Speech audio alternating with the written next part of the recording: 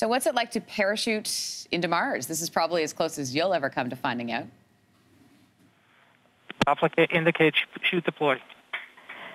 Okay, so this is new video that NASA has released of Perseverance, the rover landing. This is cool. Look at that on the right there. Woo!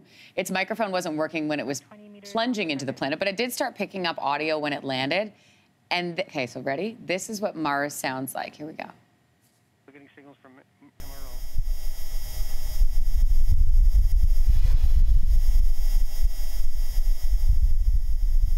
Hear that? Anne-Marie Ben, mostly wind, ambient noise, obviously. But check out the high def photo. This is so awesome. This is the terrain.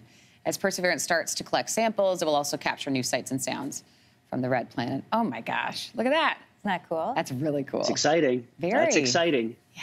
Yeah. It's so clear too. I'm this- surprised but this by is the that quality, stuff- right?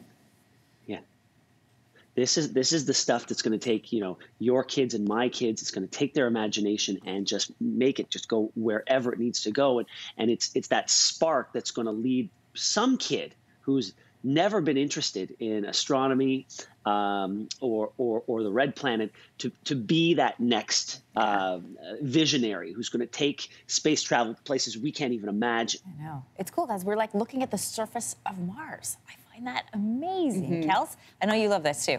Mm-hmm. Oh my gosh, I love it too. And I, I was anxiously waiting to see that first high def photo because we knew like it takes some time, obviously, for our data to travel from Mars down to Earth. So that first picture we got when the, the rover landed last week, like it was it, it was cool, but nothing like that high def Yeah. photo. Can we show that again? It's Are we able cool. to share it with everyone again? Just how spectacular it is. It, you know what it reminds me of, you guys? It reminds me of like deserts in the middle of Arizona, or even as you're getting into the Badlands through Alberta. I was just uh, thinking that. Anne-Marie, you can probably attest to that. Just the Yeah. rockiness of it, And the- seeing all those craters uh, on the surface.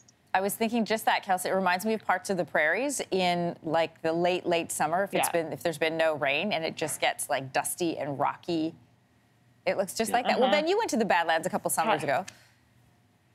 Uh, that's true. That's true. And I'd love to go back with the kids, but you're absolutely right. It's uh, it, it kind of looks like home uh, in certain parts of home.